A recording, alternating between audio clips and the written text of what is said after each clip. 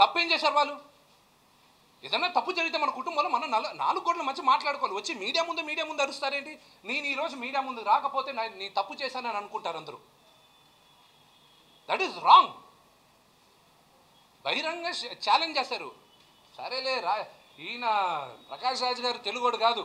ఇక్కడ మన గురించి తెలియదు కాబట్టి ఊరికే నా ఊరికే ఛాలెంజ్ వేసుకుంటూ వెళ్తాడు ఇంకోటి. ప్రకాష్ రాజ్ గారు ఇంకొకసారి నా ఫ్యామిలీ పేరు తీస్తే గారు అనేది ఉండదు ఇంక మీకు.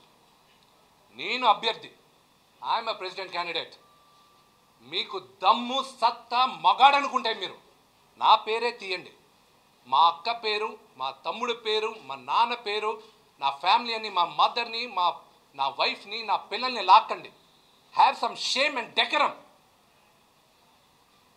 ఆ మాత్రం డెకరం లేదా అండి మీకు? ఏం మాట్లాడతారు? మంచు ఫ్యామిలీ. ఫ్యామిలీ ఎందుకు వస్తుంది మీకు? ఏ మీ ఫ్యామిలీ గురించి మాట్లాడాలా? మీ ఫ్యామిలీ లైఫ్ గురించి మాట్లాడాలి నేను? జీవిత గారు మీరు చెప్తున్నారు. మోహన్ బాబు గారు ఫోన్ చేశారు ఓటేకు ఓటేక్ అని. ఏ రాజశేఖర్ గారు ఫోన్ చేయలేదా? మీ తరపున ఫోన్లు చేయడానికి ఫోన్ చేయ మా నాన్న of course man is my dad నా కోసం మా నాన్న అడుగుతాడు మా అక్క అడుగుతుంది నా తమ్ముడు అడుగుతాడు. రేపు మా వైఫ్ ఫోన్ చేయొచ్చు. ఏమండి మా ఆయన నిలబడుతున్నారు? నేను మంచు విష్ణు వైఫ్ని నా మా ఆయనకు ఓట్ వేయండి అని తప్పేంటి? దాంట్లో తప్పేంటి? ఏ రాజశేఖర్ గారు అడగలేదా? మా ప్యానల్ వాళ్ళకి ఫోన్ చేసి అడిగారు. గిరిబాబు గారికి ఫోన్ చేసి అడగలేదా? మీ సంస్కారం అక్కడే అర్థమైపోయిందిగా? రఘుబాబు గారు అక్కడ ప్యానల్లో జనరల్ సెక్రటరీగా మీ మీ ఆపోజిట్గా నిలబడుతుంటే మీరు గిరిబాబు గారికి ఫోన్ చేసి ఏమంటే నాకు ఓట్ అని అడుగుతారు? ఆయన ఆయన ఇచ్చిన క్లాస్ సరిపోద్ది. లెటర్లు ఒకే లెటర్లు. నేను చలపతిరావు గారు అబ్బాయి రవిబాబు గారి దగ్గరికి వెళ్ళా. అన్న నువ్వు అంకుల్ ఇలాగా పోస్టల్ బ్యాలెట్ ఒప్పుకుంటారు. ఒప్పుకుంటారు విష్ణు నీకెందుకు పోస్టల్ బ్యాలెట్? నేను వేయిస్తాను సరే అన్న లెటర్ ఫార్మాట్ పంపిస్తా ప్రింట్ తీయనా ఏ ఎందుకురా లెటర్ ఫార్మాట్ అంతా? ఏదన్నా లెటర్ ఎవరితోనో మీ సెక్రటరీతో టైప్ చేసి పంపి నేను అక్కడ ఫిలప్ చేసి నేను ఇచ్చేస్తాను అన్నాడు ఆయన. వెళ్ళి అడగండి రవిబాబుని. రవి నన్ను అడగండి.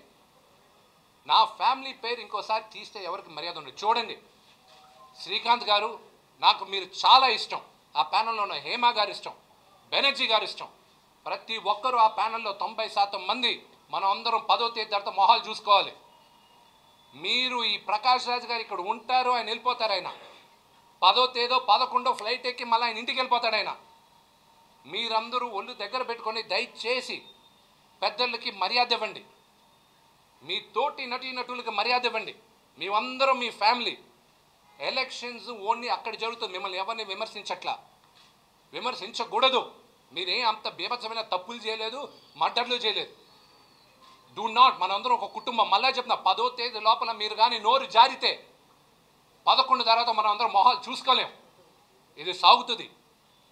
ఒక ఫ్యామిలీని విడగొట్టకండి. మనం అందరం ఒకటి. బహిరంగంగా చెప్తున్నా. వీఆర్ వన్ ఫ్యామిలీ మా అసోసియేషన్ ఒక ఫ్యామిలీ ఫ్యామిలీ ఫ్యామిలీ ఫ్యామిలీ ఆయన చారిటీ ఆర్గనైజేషన్ కాదని మళ్ళీ ఈరోజు ప్లేట్ తిప్పి వెల్ఫేర్ ఆర్గనైజేషన్ అంటున్నాడు ఆయన.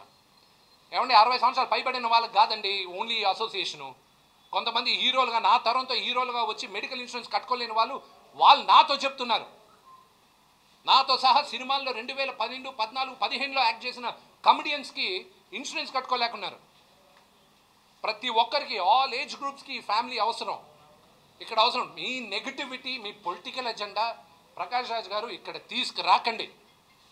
ఇంకోసారి కానీ జీవిత గారు మీరు మా నాన్నగారి పేరు సంబోధించకండి.